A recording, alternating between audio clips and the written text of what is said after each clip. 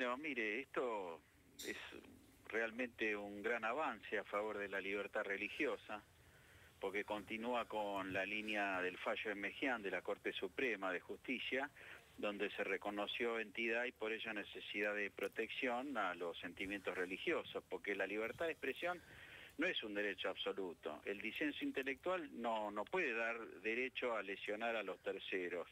Y en la sentencia se reconoce, es muy importante, el poder de policía del Estado en materia de libertad de expresión.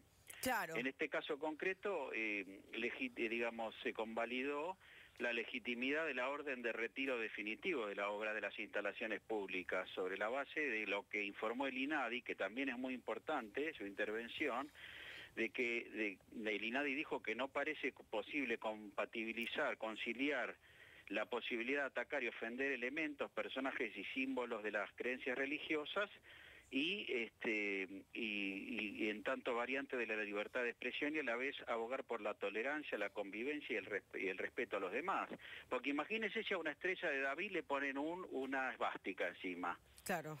Entonces, eh, eh, acá hay que distinguir el, disenso intelectual. Usted puede disentir, no, nadie, eh, nadie, va a, puede darse por ofendido porque, porque alguien niegue intelectualmente un dogma de fe, etcétera, etcétera. Pero ellos se han apropiado de una imagen que venera, es sagrada para la iglesia, ¿no es cierto? Y, la han burlado, la han ridiculizado, por lo menos la han instrumentalizado. Es decir, usted le puede dar la interpretación que quiera, pero la instrumentaliza. Es lo mismo que sí. Lo que usted señala en materia de todo lo que es demostraciones o discursos, como se conocen como discursos del odio, no porque esto alguien esté hablando de odio en sí, pero sino eh, como ciertas expresiones que están lesionando la libertad de expresión y hasta dónde prevalece la expresión y hasta dónde eso no choca con otra con otros derechos ¿no? El derecho del culto y que se lo preserve. Y bueno, y por, eso ¿no? exacto, esa es, la, tarea que le corresponde armonizar al Estado, que tiene que, eh, porque la libertad religiosa con estos ataques, estas ofensas,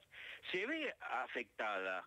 ¿No es cierto? Entonces, porque nadie tiene derecho a ofender en los sentimientos religiosos o en las creencias de los demás. Este, esta eh, resolución de quitar a la Virgen con el pañuelo verde, justamente eh, la toma, la, realiza un juez. Eh, ¿qué, argumento expone justamente este juez? Y bueno, justamente concilia, trata de llevar a una solución armonizadora de los, de los eventuales derechos constitucionales que pueden estar en pugna.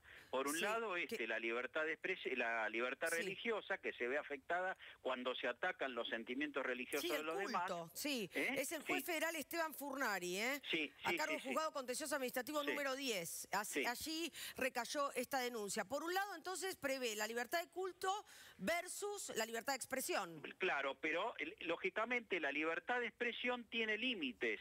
Esos límites están establecidos en la Constitución Nacional. Sí, en los primeros capítulos. en la, en la Convención Americana de Derechos Humanos, que el artículo 12 dice que eh, la libertad de expresión, aparte de estar sujeta a la responsabilidad penal ulterior y, civil, eh, puede sufrir limitaciones en tanto sea necesario para resguardar el derecho de los demás y el orden público. Ahora, aquí tendría que haber habido un Estado presente eh, manifestando que esto lesionaba un derecho constitucional, porque más allá de la Convención Americana, a la que nosotros suscribimos en 1994 con justamente eh, la reforma de la Constitución, ya de por sí el, tema del, respeto al culto estaba contemplado por nuestra Constitución. Por supuesto, por supuesto, y en el fallo Esmejian, que es de 1992, se señaló esta circunstancia.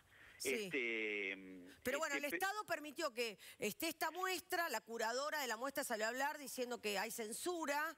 Eh, no, no es censura, no. El Estado, el Estado tuvo una. El Estado es el que ordenó ahora el retiro en ejercicio del poder de policía y el, juez ha convalidado esa orden de retiro. Y a su vez hasta que se materialice esa orden dispuso esta otra medida cautelar. Pero eh, la Secretaría de Derechos Humanos indicó en sus comunicados que había sido sorprendida en su buena fe porque si hubiera conocido la obra lo hubiera objetado de antemano, porque ellos firman un reglamento cuando, eh, cuando van a hacer la muestra de que no eh, eh, se comprometen a no generar situaciones que alteren el orden público. Claro, claro, claro, se entiende. Y esta situación altera el orden público, porque no se puede ofender a los demás, no se puede ofender en las, en las creencias más íntimas de las personas. Si alguien pasa por una iglesia y se hace la señal de la cruz, entonces válidamente otro se puede reír de él, no, porque le ofenden sus sentimientos religiosos. y si alguien no quiere creer, yo no me puedo reír de alguien que no crea en Dios. No lo puedo mofar porque no tiene Absolutamente. creencia.